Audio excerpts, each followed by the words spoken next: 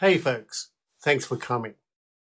I want to talk today about a topic which is quite close to my heart. It's called behavior driven development. Now, you may have heard of behavior driven development. You may have heard that it's this thing where you use given, when, then a lot.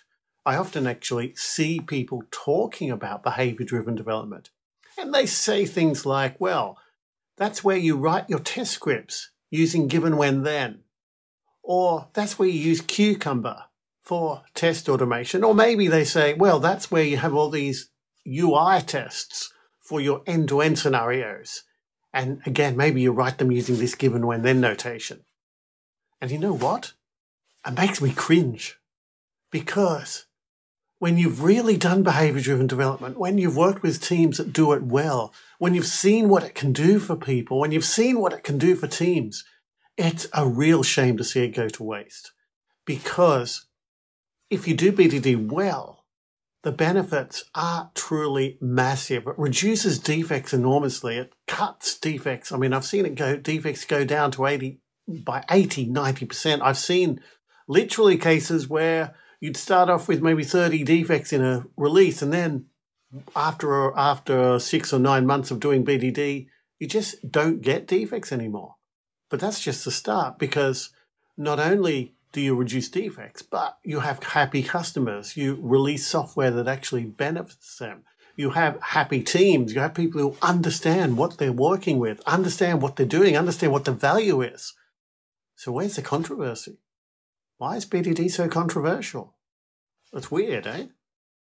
Because what I think is that I think people misunderstand what behavior driven development is all about they misunderstand the technique, which often happens in agile. It often happens in IT, to be fair. You see people pick up a technique, they misunderstand it, they apply it, they do it wrong, and then they say it's rubbish. For example, what you might see is teams where a BA or a product owner writes requirements using this given when then format. I've seen teams where this is mandated, where this is, so they say, this is how you will write given when then. You'll put given when then into your JIRAs. And what happens then? Well, in most cases, it makes things harder.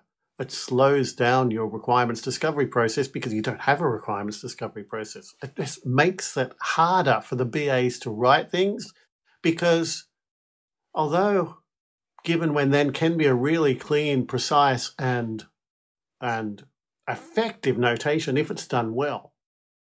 It's not really a natural way to write things. You need practice. You need skill to do it this way. It's harder for BAs who aren't trained in this technique to write, so often they'll miss important details. And they'll often end up writing these scenarios which are basically pretty much rubbish you need to throw them away, start again, and try and go back to the drawing board and figure out what they actually meant. And we don't want that, do we? The other thing that happens is that you'll get teams where they think they're doing BDD because they're writing test scripts using the given when then notation. They're using Cucumber for their automation, so surely that's BDD, right? Well, in most cases, if you do use something like Cucumber, if you use this given when then notation, if you add this layer on top of your test automation without focusing on the conversations, without focusing on understanding the business requirements, without focusing on articulating the requirements and writing executable specifications, you'll get into trouble. I could write perfectly clean and readable test scripts, even in a business language, but in plain Java or JavaScript without the added complexity of Gherkin without adding that complexity on top that would slow me down. I don't need Gherkin for that.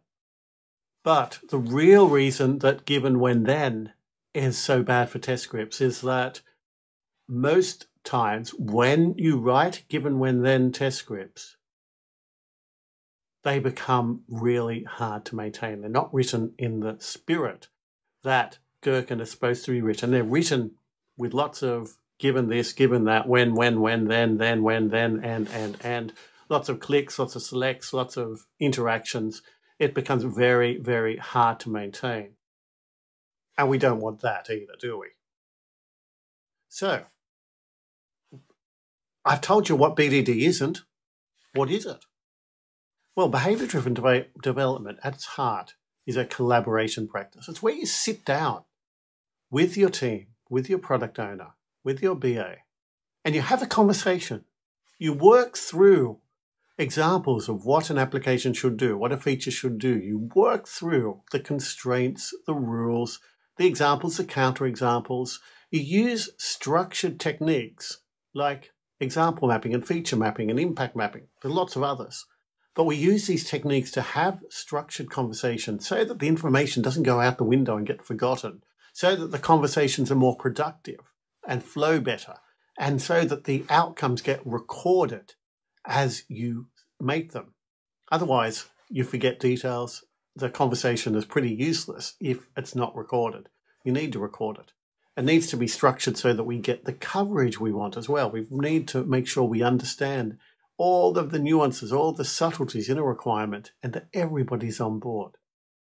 And then what we do is we take those examples and those rules and we write them down in a very structured way, a very, very specific way, a clean, readable, business readable way that identifies the key rules and examples and counterexamples and gives you that confidence that you have understand understood what a feature does. And we can use given when then for that, when we actually write down our understanding of the requirement. And then we can automate that if it makes sense. We can automate the given when then, and that will give us faster feedback, give us automated regression tests as well as a kind of bonus. It makes us, gives us documentation of our product, of our business rules. We know exactly what an application is doing at the moment, and it makes it easier to change because when we change something, we can come back and update the business rule. We know exactly what we need to change. So it improves the general flow as a, as a whole, which is really, really powerful. But the essence of BDD really is that conversation. If you're not starting with the conversation, you'll get none of the benefits of BDD. You'll just get the overhead and the extra costs.